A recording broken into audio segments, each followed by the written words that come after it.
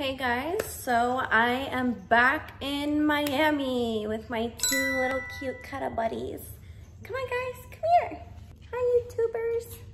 My love. I had an interesting week in New York. So many things were boarded up and it was so sad to kind of see everything like that.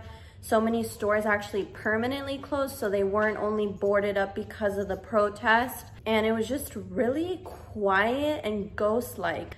I was happy and a little bit sad at the same time, but I'm not gonna be gone forever. Most of my stuff is in storage. In any case, while I was there, I got a lot of things done. So I packed all these appointments all together to get a lot of beauty things that I need to get done, like laser hair removal, PicoSure, cool sculpting, which I didn't end up doing cool sculpting. I'll tell you why now. So I did PicoSure on my arms and it's been about a week to a week and like a day or so since I did it. I do see a little bit of a difference, but I still have spots. However, the doctor did inform me, Dr. Anna, who I love, did inform me that it will take about four to five sessions. So I wasn't gonna see a huge difference, but I did see somewhat of a difference. There was absolutely no downtime, as you guys will see now, I'll show you. I was red for like a day or two, but after that, it totally went away. Now some spots are gone, there's still some left. I plan to exfoliate like my doctor said to do, my dermatologist and that will help a little bit and hopefully I'll fly back up after this whole quarantine is over to do my remaining sessions. But I had really wanted to do Pico PicoSure on my arms. I had done it before on my eyebrows, so that worked out really well. You can use it as a facial laser and basically on any part of your body. I did it on my arms up to here and I'm gonna show you guys how the arms looked right after the procedure and a week later. So I will also be discussing how the Radiesse, Radiesse, Radiesse looks, you know, before and after. So basically what happened was when I got to Beauty Fix, they were having a promotion for cool sculpting, a summer promotion. So I said, okay, I'll go to my dermatologist to do the Pico PicoSure and I'll go to Beauty Fix because I like Beauty Fix for certain things. My doctor has done it about three times on me, Dr. Anna Valiani, before, and the results were insane, amazing for cool sculpting. So this time I wanted to do it again, but at Beauty Fix. So when I got there, basically they were telling me that I can't do it because I don't have fat there like I used to have and it will leave me with like a shark bite, like a hole. And I found that hard to believe because Dr. Anna was gonna do it for me and I made a mistake. I should have just done it with her, like when I did my PicoSure. So basically we went back and forth with the clinical director and she didn't want to do it on me. So that was a mistake. I should have stuck with Dr. Anna. Um, so what they did suggest was that they add Radiesse here on my chin, here on the sides of my jaw, and here a little bit just to lift this up. And this, if they inject it, it will bring out my chin more. So it will show less of an appearance on my double chin, but they think I don't have one. But I beg to differ because in a lot of my pictures or when I laugh and stuff, I'm like, I hate it. So basically what the filler would do is bring this out more and define this more. So it did bring out my chin a bit, it's more pointy. I'll show that before and after here. And I did like it and here as well. I think, you know, she said it could help if I lifted a little, bring this out and then define the sides as well. And it would give that double chin less of an appearance. I have never done Radiesse. I've never done fillers here. I've never done fillers here. I have done it here for Botox, but not like in here.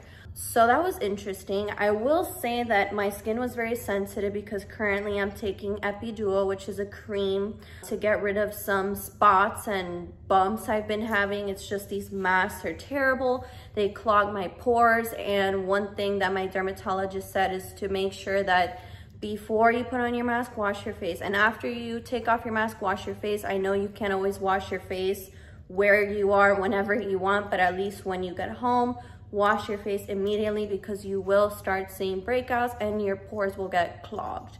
Worse than lots of makeup.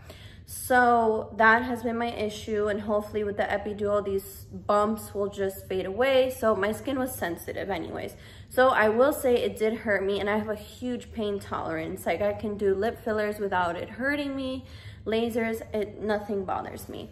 So that I was sensitive. If you're sensitive, it is gonna hurt you. I'm not gonna lie. So basically, they didn't let me record that filler procedure. I wish I just did everything with my doctor, but I did get to film the PicoSure procedure. So I was really happy about that. It did not hurt. I've done PicoSure on my brows, as you guys know, and my tattoo. She didn't numb my um, arms. So like it honestly did not hurt. So don't worry about it if you're looking to do it on your arms or anything like that. And I wanted to do it on my butt, but I decided my arms are more important because they're more visible here in hot weather. I have to wear shorter sleeves. So I'm excited to be on this journey and I will show you now how that went after two days. And then I stopped recording because I got so busy bombarded when I got back with more EcoPod stuff. So here is the Pico PicoSure procedure.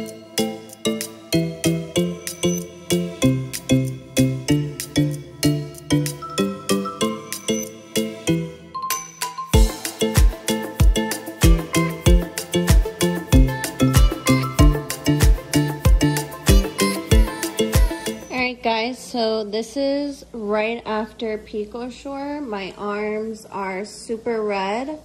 Um, I wore a sweater for workout. Don't get sun on the area that you get PicoSure.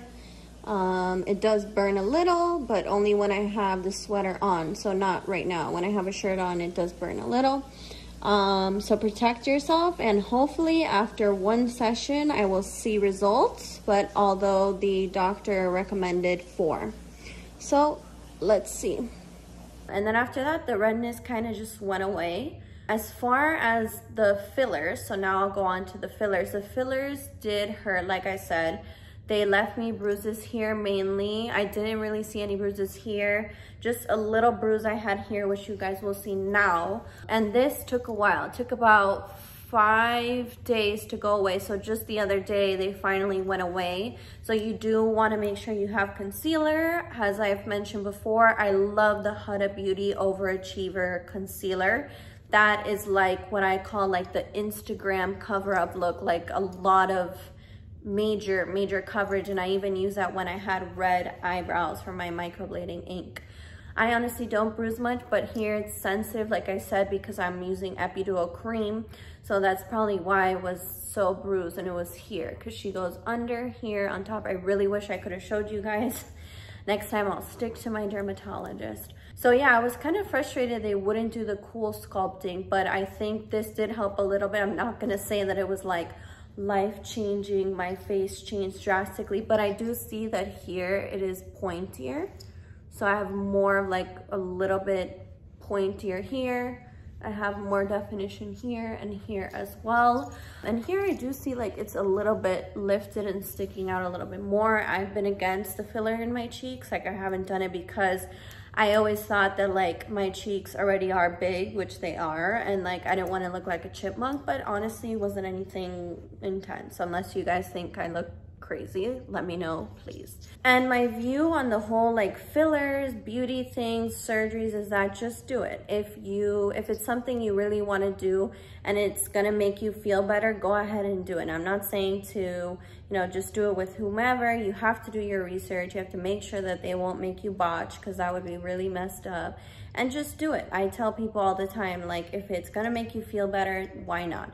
You're the one that wakes up in the morning, you look at yourself in the mirror, and if something is constantly bothering you, then why not change it if you can? So I really think it's something that you know, people shouldn't be ashamed about. I really do not care about publicizing the fact that I do it. I think nothing's wrong about it. I like the way that I look. I do not have body dysmorphia. I think there's nothing wrong with it. Some people prefer to not do anything at all, and that's super okay too. Not against that either. At the end of the day, you're living with yourself.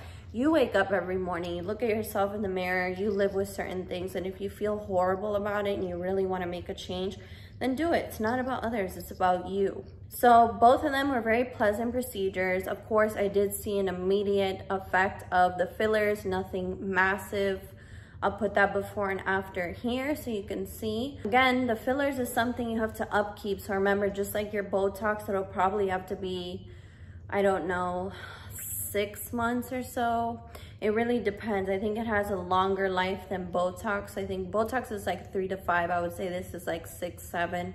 But just remember, you have to upkeep fillers and they're expensive. So if it's something that you want to do and you want to just change your face a little bit and add more structure, higher like cheekbones, the appearance of higher cheekbones, you have to upkeep that. You have to go, you have to make sure you schedule it on your calendar and know that this is a process, not, you know, the lips I would say is a process. That's Restylane if you choose Restylane.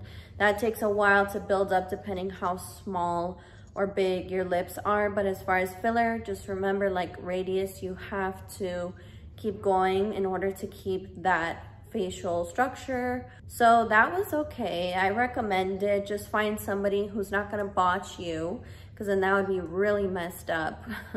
I do my research. So if you're looking for the place, it's Beauty Fix Med Spa. If you're looking for PicoSure or really all dermatology needs, go to Dr. Anna Valiani. So it really depends on you. You have to go for a consult. I believe they're offering virtual consults. So amazing, amazing. I recommend, again, 100%. I've replied to a lot of you guys on Instagram. Thanks for reaching out and also on my videos saying that Pico PicoSure is always the way to go if you want to remove something, whether it's like laser facial, your tattoo, you know, bumps on your arms, your butt, which is my next thing.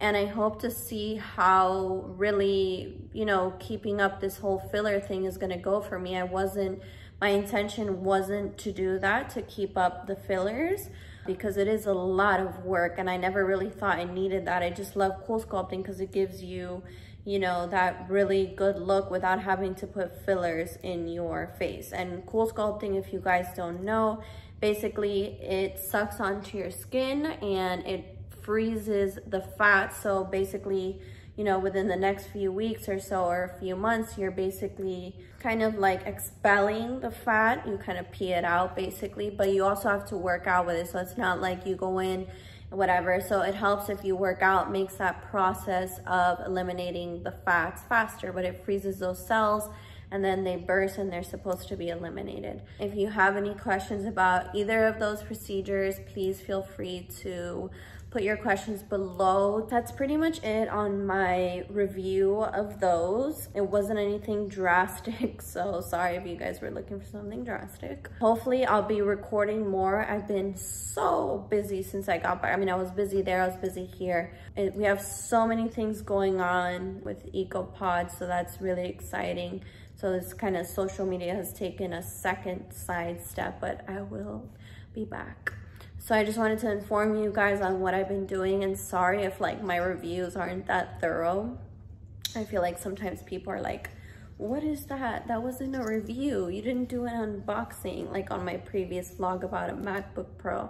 But I hope you guys like my videos and my channels. And if you do, hit subscribe below, hit that bell for notifications, and I will see you guys soon. Stay safe and take care, guys. Mwah. Música